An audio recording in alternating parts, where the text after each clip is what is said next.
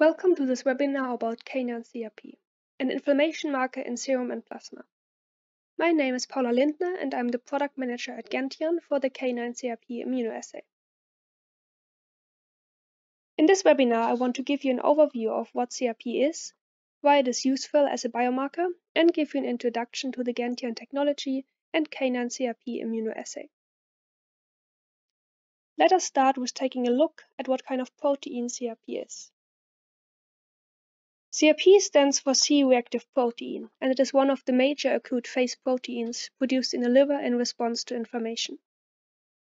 The protein structure is composed of five identical subunits, and I want to note here that in dogs, two of these subunits are glycosylated in contrast to human CRP. The levels of CRP rise in response to systemic inflammations in the body, and that happens quite fast, already in around 4 to 6 hours after the onset of inflammation. Maximum levels will be reached normally between 24 to 48 hours, depending on the stimulus, and they can increase up to over 100 fold.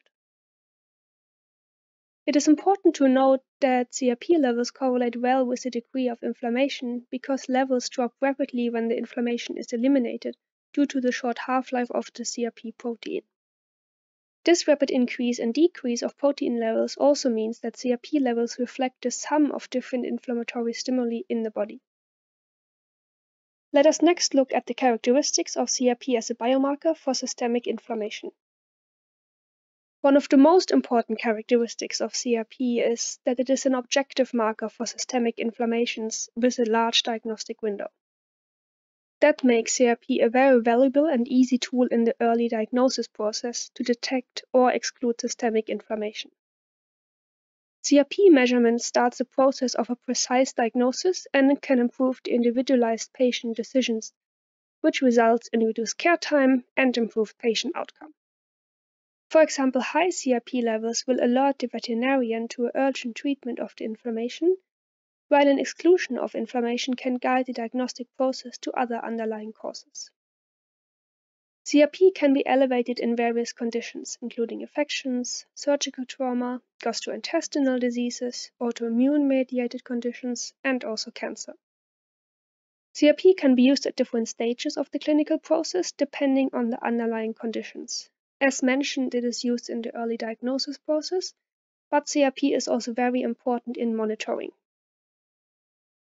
That is because CRP levels will track the real-time course of the inflammation due to the short half-life of the protein, and therefore CRP is very useful for monitoring the treatment response and can even give some prognostic evaluation potential. For example, when monitoring patients after surgery where they are especially prone to infections. It is also important to note that CRP is a very reliable biomarker because it is not influenced by gender, age, stress, or diet like some other biomarkers might be. The only disease unrelated elevations are pregnancy, very young age, and vigorous exercise, all of which can be easily excluded or avoided. I want to mention one exemplary study that compared CRP with white blood cell count and band neutrophil count, which are also commonly used to detect inflammation. This study included over 900 dogs with various conditions, and the authors found no or only weak correlation between CRP and white blood cell count and band neutrophil count. This means CRP was able to detect inflammation which were missed by the other two methods. So the authors conclude that including CRP is an essential routine in diagnostic testing because it can reliably detect the presence of systemic inflammation. As a small summary of the first two parts, I would like to highlight the reliable use of CRP in early diagnosis and the use of this quantitative biomarker in monitoring the treatment response and even give a prognostic evaluation for the patient. Let us come to the second part of this webinar and take first a look at the technology behind the Gentian immunoassays. The Gentian PETIA assays are based on immunoparticles, which are small beads coated with a specific antibody. The immunoparticles are mixed with a sample containing several different antigens, including the target antigen. In this case, the sample will be serum or plasma, and the target antigen is a canine CRP protein. The mixture of immunoparticles and antigen will lead to agglutination because the same antigen can be bound by several antibodies on different beads, so they will be cross-linked together by the bound antigen. Importantly, the degree of this cross-linking correlates with the concentration of the CRP antigen in the sample. This reaction takes place within the cuvette of the analyzer, and the degree of agglutination is measured by passing light through the sample. A light source will emit a fixed amount of light, and the monochromator will filter the light beam so only one narrow wavelength will pass through the sample. The crosslink complexes will reflect and absorb some portion of light, and the transmitted light will be measured by a detector, and based on the fraction of incoming light and the light that passes through the sample, the concentration of CRP can be calculated. In the last part of this webinar, we will take a look on the Gentian canine CRP immunoassay and its specification and advantages. One of the main advantages of the Gentian canine CRP assay is that it is developed with canine-specific antibodies instead of human. It results in less lot-to-lot variability and high specificity, since the canine CRP is in contrast to the human CRP glycosylated at two subunits. In addition, the assay uses antibodies from avian origin, which have the advantage of increased sensitivity and less background signal, since avian antibodies have less interference, for example with the rheumatic factor and the complement system.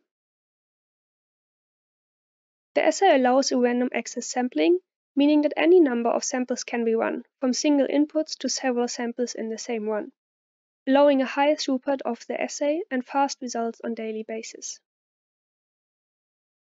The Gentian PETIA assays are fully automated systems. That means less hands-on time in the lab, which saves you time and money. The assay time is quite short. From start to result, it only takes 10 minutes. The assay provides a wide range of measuring, which means that you will need less dilution steps in most of your samples, and so saves you time, cost, and possible inaccuracies in dilution. Also, the calibration is stable for four weeks, resulting in reduced cost and time for recalibration. Finally, it is important to note the Gentian Canine CRP immunoassay is suitable for all open access analyzers, so you can set up the assay on your own specific instrument. Here I want to give you an overview of the most important performance characteristics of the assay. The linearity range spans from 10 to 300 mg per liter with an LAQ around 5 to 10 mg per liter and a security zone up to 1000 mg per liter, depending on the instrument. Also, the precision is very good with low CVs from clinical cutoff value and above, and normal values for healthy dogs are in the range of 0.2 to 4.9 mg per liter. As a sample material, you can use both serum and plasma blood samples. You will find all of the specific ranges in the application notes, and Gentian has validated the assay on a wide range of analyzers, including Abbott, Beckman Coulter, Horiba, Mindray, Roche, and Siemens.